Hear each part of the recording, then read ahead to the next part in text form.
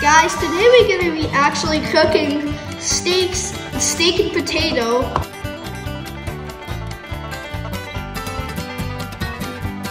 Now it's time for the potato chips.